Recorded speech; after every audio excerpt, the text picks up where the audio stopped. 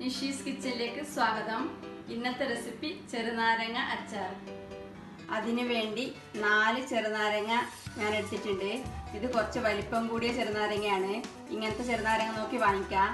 ഇതാവുമ്പോൾ എങ്ങനെ ഉണ്ടാക്കിയാലും കയ്പ്പ് രസം ഉണ്ടാവില്ല ഈ ടൈപ്പ് നാരങ്ങ കടകളിൽ ഇഷ്ടം പോലെ വാങ്ങിക്കാൻ കിട്ടും. ഇത് തന്നെ നല്ല മഞ്ഞ നിറത്തിലുള്ള നല്ലോണം പഴുത്ത് നോക്കി വാങ്ങിക്കാം. അടുപ്പത്ത് ഒരു ഇഡലി പാത്രത്തിൽ കുറച്ച് വെള്ളം ഒഴിച്ച് തിളപ്പിക്കാൻ വെച്ച് വെള്ളം തിളക്കുമ്പോൾ അതിലേക്ക് ഇഡലിത്തട്ട് വെച്ച് അതിലേക്ക് ഈ നാരങ്ങ വെക്കാം. ഇത് ഞാൻ നന്നായി കഴുകിയെടുത്ത നാരങ്ങയാണ്. ഇനി ഇത് അടച്ചു വെച്ച് മീഡിയം ഫ്ലെയിമിൽ ഒരു നാലഞ്ച് മിനിറ്റ് വേവിച്ചെടുക്കാം.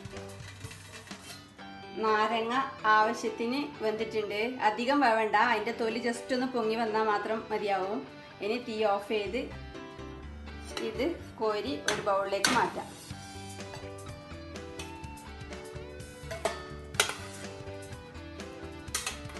നാരങ്ങ ബൗളിലേക്ക് മാറ്റിയിട്ടുണ്ട്. ഇനി ഇത് ചൂടാറുമ്പോൾ ഒരു നല്ല ഉണങ്ങിയ ടവൽ വെച്ചോ ടിഷ്യൂ വെച്ചോ അതിന്റെ വെള്ളമെല്ലാം ഒപ്പിയെടുത്ത് കട്ട് ചെയ്യുക ഇത് ചൂടാറിയതിന് ശേഷം ഒരു മണിക്കൂർ ഫ്രിഡ്ജിൽ വെച്ചാൽ കട്ട് ചെയ്യാൻ നല്ല എളുപ്പമുണ്ടാവും. ചെറുനാരങ്ങ ചൂടാറിയതിന് ശേഷം കുറച്ച് സമയം ഫ്രിഡ്ജിൽ വെച്ചതിന് ശേഷം പുറത്തെടുത്തിട്ടുണ്ട്. ഇതിന്റെ വെള്ളമെല്ലാം ഞാൻ ഒപ്പി കളഞ്ഞിട്ടുണ്ട്. ഇനി ഇത് കട്ട് ചെയ്തെടുക്കാം. കട്ട് ചെയ്യുന്ന അവരവരെ ഇഷ്ടത്തിന് കട്ട് ചെയ്യാം. ഞാൻ കട്ട് ചെയ്യുന്നത് ഇങ്ങനെ.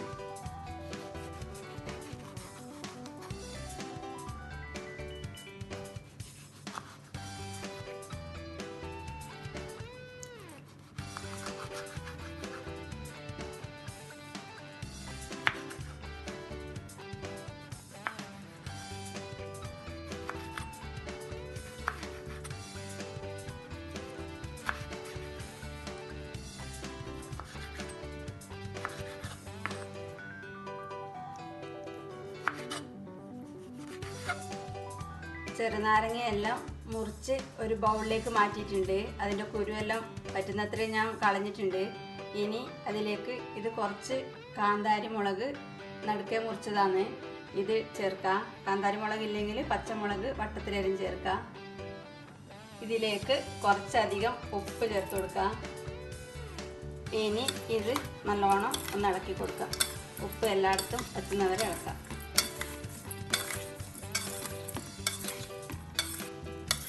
നല്ലോണം ഉപ്പിട്ട് മിക്സ് ചെയ്തിട്ടുണ്ട്. ഇനി ഇത് ഒരു മണിക്കൂറോ അതിൽ കൂടുതൽ സമയമോ മാറ്റി വെക്കാം. ഞാൻ നാരങ്ങ മുറിച്ച് ഉപ്പ് മിക്സ് ചെയ്ത് വെച്ചിട്ട് ഒരു ദിവസം കഴിഞ്ഞിട്ടുണ്ട്. മിനിമം ഒരു മണിക്കൂറെങ്കിലും ഉപ്പ് മിക്സ് ചെയ്ത് വെക്കണം. ഇനി ഇതിലേക്ക് ചേർക്കാൻ വേണ്ടി അടുപ്പത്ത് ഒരു പാൻ വെച്ച് കുറച്ച് മുളക് പൊടി അതിലേക്കിടാം ഒരു അഞ്ച് ടീസ്പൂൺ മുളക് പൊടി ഞാൻ ചേർക്കുന്നുണ്ട് ഇപ്പം. ഇത് പിരിയൽ മുളക് പൊടിയാണ്. ഇനി തീ കത്തിച്ചു കൊടുത്ത് ഇത് ഇളക്കി നല്ലോണം ചൂടാക്കാം. മുളക് പൊടി നല്ലോണം ചൂടായിട്ട് കളർ മാറാൻ തുടങ്ങിയിട്ടുണ്ട്.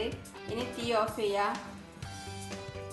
ഇതിന്റെ ചൂടാറുന്നതിന് മുന്നേ തന്നെ അര ടീസ്പൂൺ ഉലുവ വറുത്ത് പൊടിച്ച് ചേർക്കാം. അര ടീസ്പൂൺ കായപ്പൊടിയും കൂടെ ചേർത്ത് ഇത് നല്ലോണം ഇളക്കി മിക്സ് ചെയ്തതിന് ശേഷം ഇത് മുറിച്ചിട്ട നാരങ്ങയിലേക്ക് ഇട്ട് കൊടുക്കാം.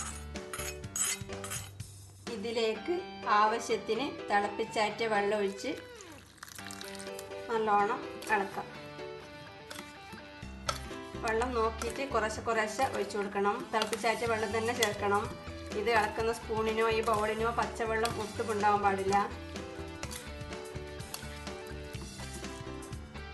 ഞാൻ ഇത്രയും വെള്ളം ചേർത്തിട്ടുണ്ട്. അവരവർക്ക് എത്ര കട്ടി വേണ്ടെന്ന് വെച്ചാൽ അതിന് കണക്കായിട്ട് വെള്ളം ചേർക്കാം.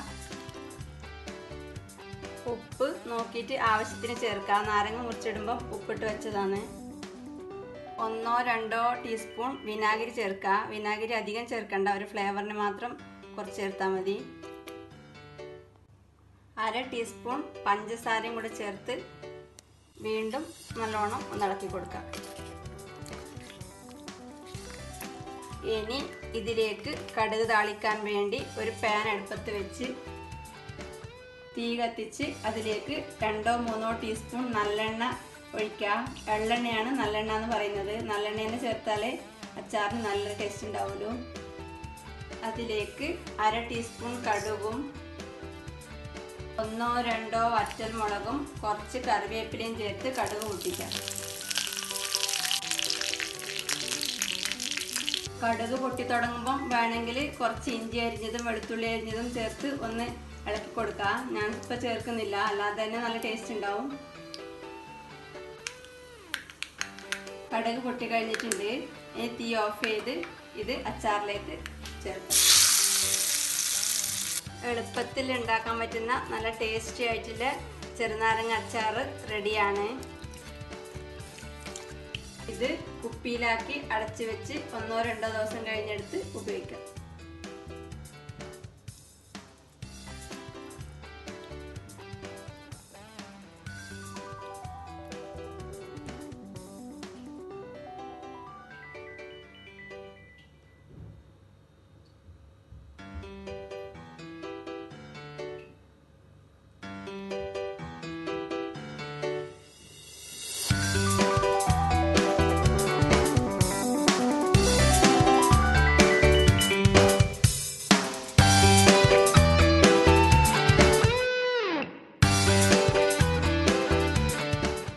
എല്ലാവരും ഉണ്ടാക്കി നോക്കുക.